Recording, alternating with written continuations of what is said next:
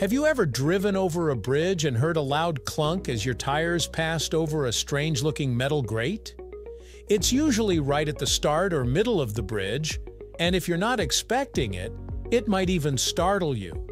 What you just drove over is called an expansion joint, and while it might not seem like much, it plays a critical role in keeping that bridge safe, functional, and standing tall.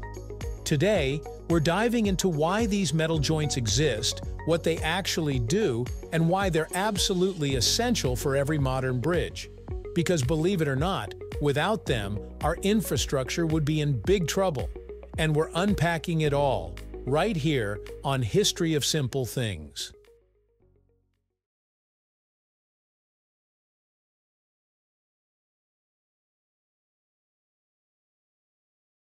Let's start with a surprising fact. Bridges move. Now, we're not talking about bridges walking off like giant metal robots, but they expand, contract, bend, and flex every day, all the time. This movement is caused by a few different factors, but the biggest one, it is because of the temperature. Just like the metal lid on a jar might loosen up after running under hot water, or how sidewalks crack because of shifting ground, bridges are constantly responding to the environment. When it's hot outside, the materials that make up the bridge, steel, concrete, asphalt, expand. When it's cold, they shrink back down. And in climates with big seasonal swings, the difference between a summer day and a winter night can cause several inches of movement. Imagine a 500-foot-long bridge made of steel, on a hot summer day, it might grow by as much as 3 to 4 inches. Doesn't sound like a lot? Now think about that same expansion happening without anywhere for the bridge to give. That pressure would have nowhere to go. Over time, this could lead to warping, cracking, or even structural failure. This is where metal expansion joints come in. They're not just random metal pieces bolted onto a bridge. They're carefully engineered components that let the bridge breathe. When the bridge expands, the joint compresses. When the bridge contracts, the joint stretches back out. They're designed to allow motion without tearing the whole system apart. But you may ask, why metal? Actually, that's a great question. Expansion joints are often made of steel or composite metals because they can handle high stress, resist corrosion, and most importantly, they're flexible but strong. These materials can absorb a huge range of motion while still providing a stable driving surface. Plus, metal is durable enough to withstand thousands of vehicles driving over it every day, in every kind of weather. Imagine building a bridge with no expansion joints at all.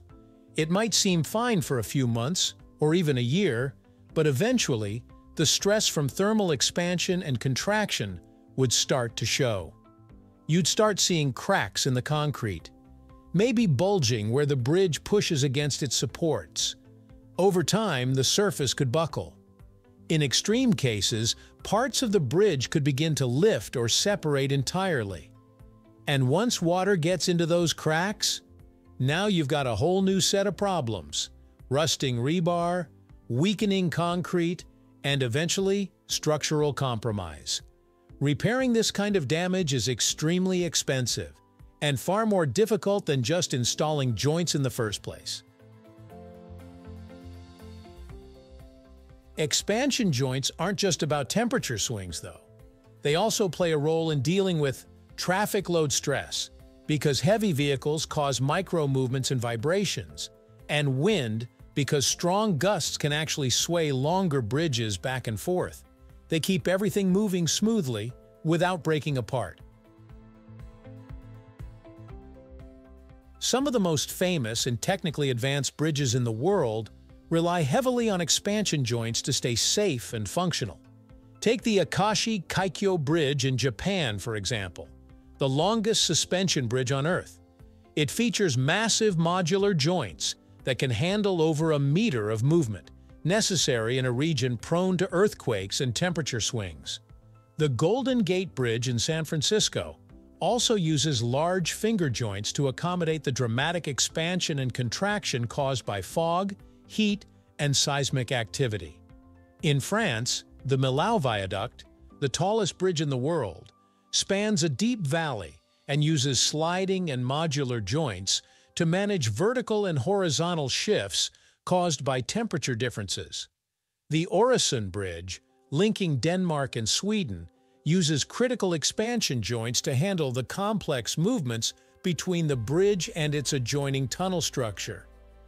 And in California, the San Francisco-Oakland Bay Bridge features some of the world's most advanced modular joints, engineered to absorb multi-directional seismic forces. In each of these engineering marvels, expansion joints may not be the most visible element, but they're absolutely vital in allowing these massive structures to move safely with their environment. Here's a fun twist. Expansion joints aren't just used in bridges. You'll also find them in skyscrapers, sidewalks, airport runways, stadiums. Basically, any large structure made of rigid materials needs a way to cope with movement. So next time you're walking through a big mall or crossing a city plaza, take a look down. You might spot a joint you never noticed before. While expansion joints might seem like simple pieces of metal, they're actually marvels of modern engineering. Every detail, from the way the plates mesh to the materials chosen, comes from decades of study, modeling, and real-world testing. Engineers have to consider not just how the bridge moves, but how that movement affects everything around it. That includes drainage, driving comfort, noise levels, and long-term durability. Some modern joints even come with built-in sensors, feeding real-time data to transportation departments so they can monitor movement, wear, and stress remotely. So the next time you drive over one of those loud, bumpy metal plates at the edge of a bridge, don't be annoyed, be impressed. That little clunk you feel under your tires? That's a crucial piece of infrastructure doing its job, quietly, constantly, keeping the bridge safe, the ride smooth, and the entire structure intact. In a world where we tend to notice only the big things, the towers, the steel cables, the sweeping views, expansion joints are a great reminder that the smallest parts can make the biggest difference. Thank you for watching. If you have suggestions for our next video, feel free to share them in the comments below. We'll be sure to give you an acknowledgement for your contribution. Thank you for joining us on this journey through the history of simple things. Don't forget to like, subscribe, and stay tuned for more stories woven through the smallest details.